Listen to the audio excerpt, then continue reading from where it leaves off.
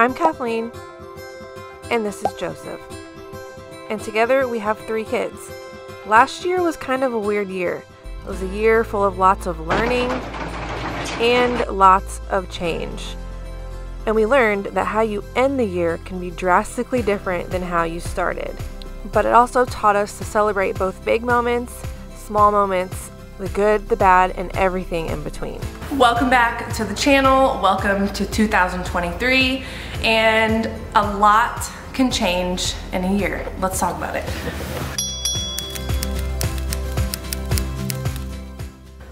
Okay, so in the very beginning of this year, we were in Florida. Why were we in Florida? We moved to Florida last year. But what happened on the way to Florida?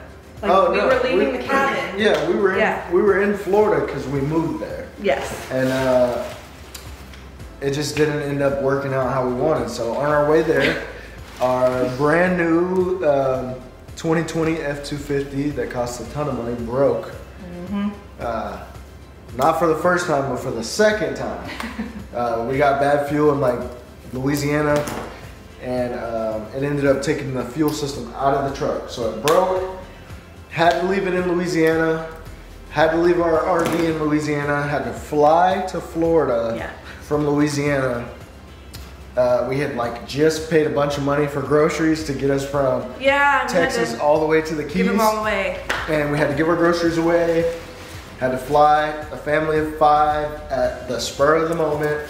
Yeah. fly them from New Orleans to Florida, and um, Yeah, because one of the reasons why I'm holding this. So one of the reasons why we even um, started RVing our second time RVing was to figure out because we knew we wanted to leave and move out of Arizona for good. So we wanted to figure out where we wanted to be and he had gotten a job offer in Florida and so we were like let's go we have the RV it's perfect RVing in Florida in any kind of uh, winter months is a nightmare, and you better have booked that like a year ago.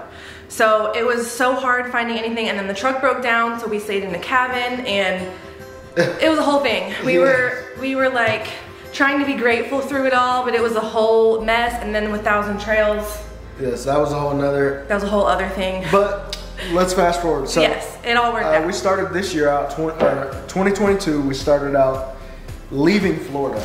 I got a phone call at work one day when I was in Clearwater, Florida. I got a phone call that said, "Hey, your truck's gonna be done by this weekend." yeah.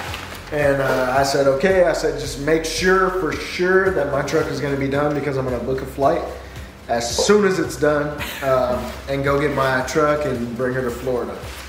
Um, so it was done. I flew out, got my truck, came back. The next, the following Monday, I quit. Yeah.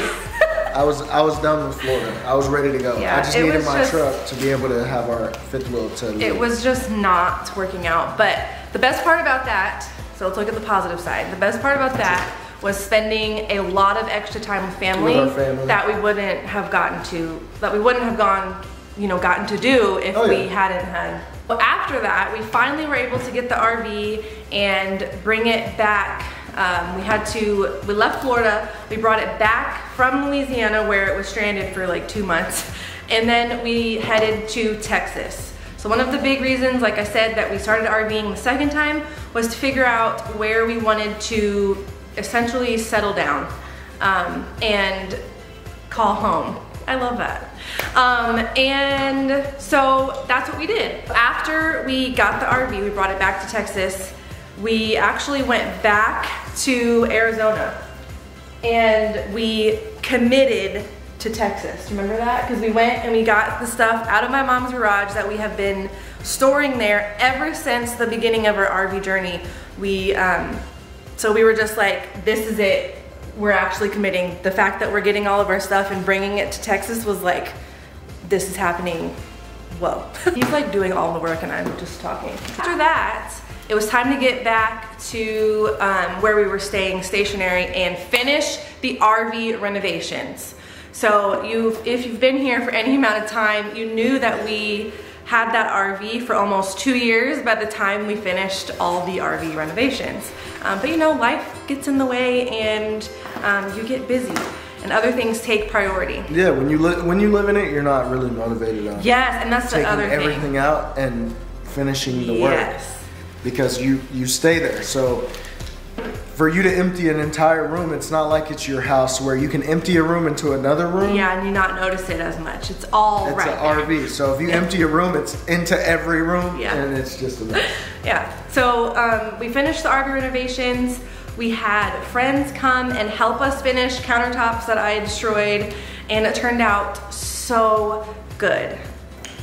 But little did we know that um, right before that, a production company reached out and was like, We've been following your channel on YouTube and we love to come um, film a day in your life. And we were like, What?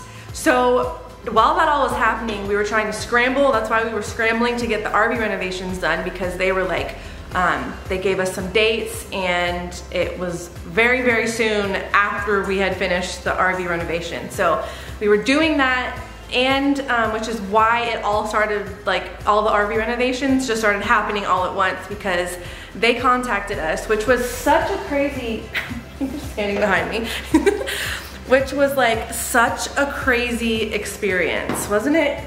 So, um, do it, do it in. Just standing in front of. I know, I'm like not helpful at all. At first, we told them like it wasn't gonna work out, it's too soon, We've, the RV was a mess, nothing was done. Like I said, we hadn't started back renovating and finishing up. Um, and then they postponed it like a month or two, and so we were like, maybe this will work out. So we had to do a casting call. And this company is based out of London, right? The UK? It was BBC London. Yeah, BBC London. And so, um, so that that was just a whole experience, a whole film crew.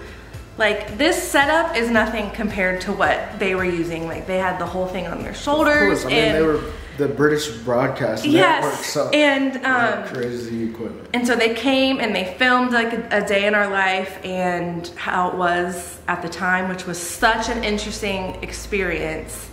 Like, what? Yeah. Like, I mean, they filmed a day in our life like in two days or three days. They did it in they did it in two days so that they had enough footage. So I'm gonna share I'll share a snippet of the um, show that they actually aired on live TV, which is nuts. Your time is more valuable than the money that you can generate because you will always generate funds, you will never regenerate time. Meet the Whites, who quit the rat race in 2019 in search of a slower pace of life. I was working in the aviation field, uh, a lot of hours, very busy, but living that typical American dream. Big house, new cars, very faster pace of living. Inspired by online videos, Joseph quit his job in aviation and they rented a 22 foot motorhome to explore in. That trip started everything to what you see today. As soon as they could, sold their house and bought their own $42,000 fifth wheel RV with three bedrooms. We've been able to make it a home. So when we first got it, everything was brown from paint to new countertops to just adding decor. So being able to have everybody have their own unique space. This is my garage right here. This is where I get my utilitarian on, uh, where I can have my space. And if they do want a change of scene, it takes them less than 20 minutes to convert Home Sweet Home back into a travelling RV. My children, under the age of 10, have They've done more than we've done. more things than I've experienced. We're swapping cars of no, no. But for the past six months, they've stayed put in an RV park in Texas as Joseph is working in nearby Austin. Let's say bye to daddy. Bye, bye, Dad. Love you. Love you. Love it. Wherever we are, that's where home is going to be, whether it's an RV, a home, a high rise in the city. If my kids and my wife are there, that's home for me.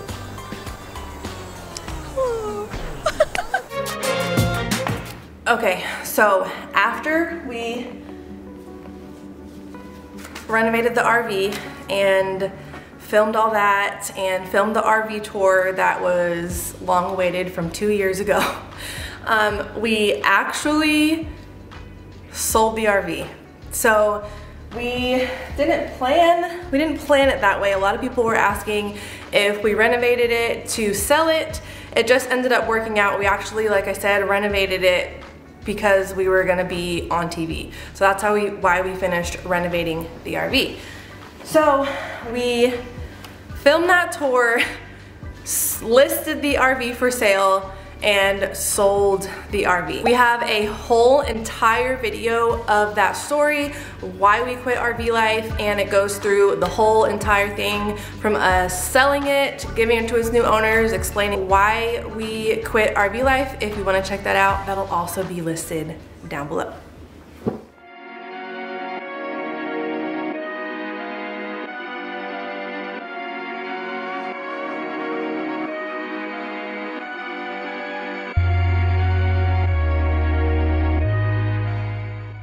Our newest adventure is this. So we originally were gonna buy land Yes. and Do a mini farm. and at the time land and even now land is ridiculous to build is ridiculous and it just didn't make sense to put our money there plus the doors kept shutting. Yeah. Yeah. Pretty much everything that was going that way ended up trending towards like a no answer. Yeah. And uh, that's kind of how we make decisions. And we, of course, we pray, and we feel like once we start getting those those no's and those doors kind of closing, uh, we feel like that's God's way of telling us like that's not the move right now. Be patient. So with that, we kind of built the store in secret. We didn't tell anybody about it. No. We leased the space, we renovated the space, and nobody knew. I would suggest that to anybody. yeah. Huh? Yeah. If I would, I would suggest that to anybody. If you have a dream and you want to chase it, and you know it may be uh, controversial in your area or to your family, uh, you're only going to get to do this life one time, as far as on Earth. So, if you have a dream, guard that thing, cherish that thing, nurture it like a new baby. How, if you have a newborn baby, I know in my family we don't just allow everyone in the family to come over until we feel that baby is a little bit stronger. Yeah. So Same same concept. it's the same concept. You're gonna have to guard your dream, or someone is going to poo on it, and uh, you're not gonna feel the same about it. You Yeah. may get swayed when in your heart you know that that's been placed there, and it's something that has been burning inside of you. Mm-hmm. To where if you um, divulge that information early, you're gonna get the naysayers. You're gonna get your family members who have never seen this concept or have never heard of it. And they're gonna want to protect you by telling you, "Hey, don't do that. Don't Don't do it. you That's know, protect your finances. Yeah. Don't do this or that. but if you've done your homework, you know what you know. Yeah. It's gonna do what it's supposed to do. so. Yeah. So we open this in August, but we were building it all in July. In July. Um, and renovating this and We did not have a all of summer the things. summer. No, we didn't not have like summer. when we used to RV. We were putting this together. yeah. So that's what we were doing in July slash beginning of August. If you want to watch the whole story on how we came about this and how this happened and all the things, we have a video on that. I will link it down below. After that, so we sold the RV and uh, what did we do after that? After we sold the RV, we, moved in here. Stay, We- so we moved. We moved here, which was a bit of an adjustment, but it was very, very nice and It was needed. It was needed. At the time, it Yes. was needed. Um, like I said, we have a whole video on why we left RV life. And in long story short, it was just that season of life was over for us. Yeah. We Yeah. have no hard feelings. We had an amazing time on the road. But right now, this is where we're at, and we are just so happy with where we're at Oh. now. And it's crazy how much can change in a year. Like, it's it's absolutely insane. Yeah, you always, I don't know, just every day, just embrace where you're at. Even even if it's not where you want to be, just embrace that journey to getting to where you're trying to be. Mm-hmm. Yeah. just don't quit. I always tell Kathleen, I, I quit every day. So I, Yeah. I quit every day, and then at the end of the day, guess what? I start all over again. Yeah. So it is what it is. Um, we also changed our channel name, and previously, that thing's about to boil. Oh, hold on.